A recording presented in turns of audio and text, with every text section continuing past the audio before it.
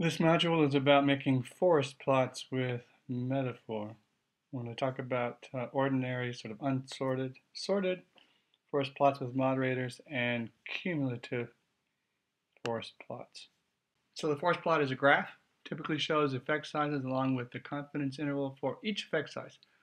And um, typically there's a, an overall mean at the bottom of the graph.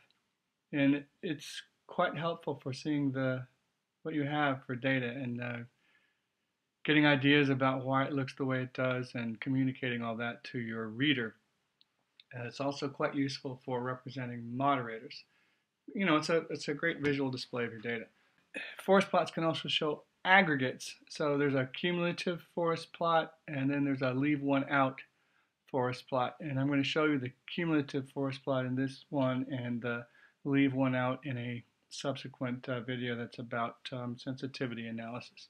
So the R code, um, I'm going to show you two data sets. Both of them are uh, correlational. Uh, both of them I've transformed to Z um, or will in the in the code. McLeod data are, is about parenting and child depression. I'm going to show you the unsorted forest. Then I'm going to sort by effect sizes. Then I'm going to sort by precision, and then I'm going to sort by a moderator and the effect size, test for the moderator, and represent all that in one forest plot. Then I'm going to go to the uh, rocks data, and that's about leader member exchange and continuance commitment to the organization. I'm going to show you that data sorted by year, and then show you a cumulative plot by year and compare those side by side. Okay, let's take a look at the output. I wake up metafor, I wake up XLSX. I've loaded the packages. So um, McLeod 2007 is a data set I worked with earlier. So we've got parenting and childhood depression. Um, I read in the McLeod DAT from uh, my desktop and then I print it out. So we got author year, uh, age of the sample, got correlation, got the sample size, got some moderators. DX is whether the child was diagnosed in the study, diagnosed with depression. And now um, I run the analysis and I get the results for McLeod and we've got 45 effect sizes and the mean is about uh, 27, and then I say, um, give me a forest, please. So forest McLeod results, and the forest plot looks like this. Here's the value for zero. You can see each study is shown as a box, and the um, the more the heavier boxes, the bigger boxes represent heavier weights, and the wings are the limits of the confidence intervals and we have them, the mean or overall effect size at the bottom. We have numerical results displayed here and the study number over here. And you can see we're about 27 here.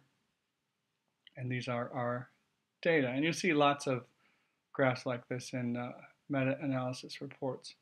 Um, that's not the best way to, to do this kind of graph, though. So um, I think you should probably sort the data because it's going to be easier to see if you do. So let's, all right, so now um, sort the data set. Uh, you need to, to either attach the data set or you need to refer to uh, variable names a special way. So um, McLeod data sorted by effect sizes gets McLeod data and order the data set by McLeod dat dollar $r. So this means the variable r in this data set, and I want to sort it and order the whole data set uh, by that value. And so here I've got the, the data, and here we have the correlations, and you can see they go from 0, 10, uh, 67. So that's the, um, the data are now sorted by the correlation, so I want it sorted by effect size. Uh, and then I run the um, RMA, the uh, the meta-analysis program, and then I say forest from that result. When I do that, I get the um, the nice sorted uh, forest plot. And you can see, looks like there were three studies that didn't report an effect size that they it said it was not significant, and so they said, okay, we'll call those zero. And you can see they don't quite fit. And that's easy to see in this graph because you see this nice long progression. It's typical to see a curving out at the bottom and the top where you have some small studies that are extreme, but you want to see a nice even progression through your studies like this for the most part. And you can see this pretty much falls in the middle as you would expect. So this is a nice uh, way to show your uh, forest plot that's easy to under, understand. Um, we could also sort it by precision, which we're going to do next.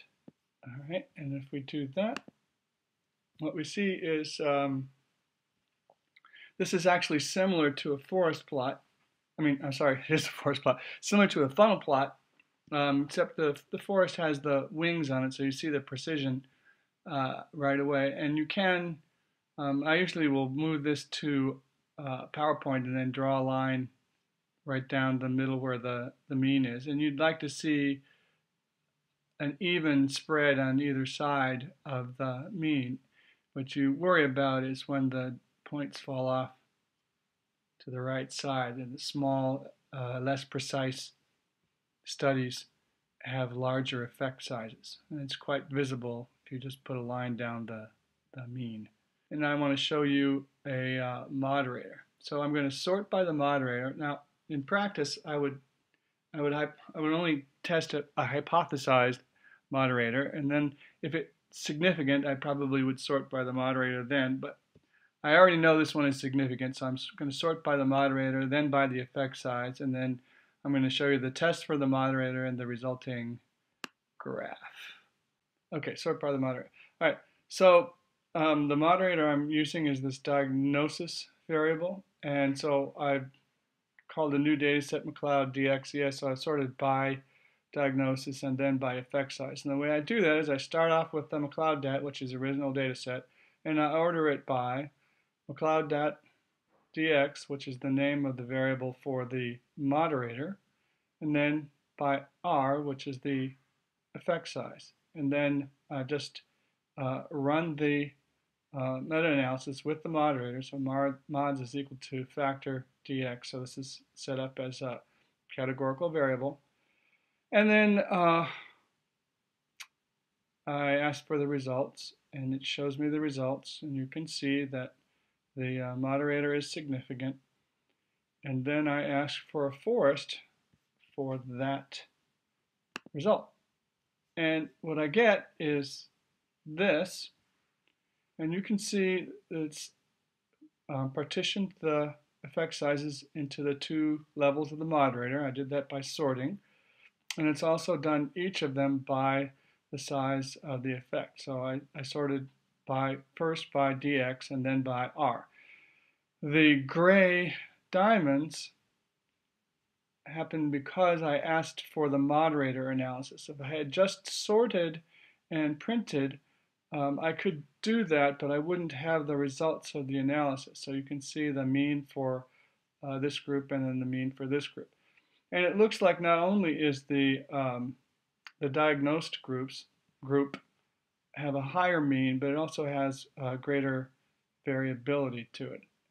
I, I didn't test for the difference, but it looks that way.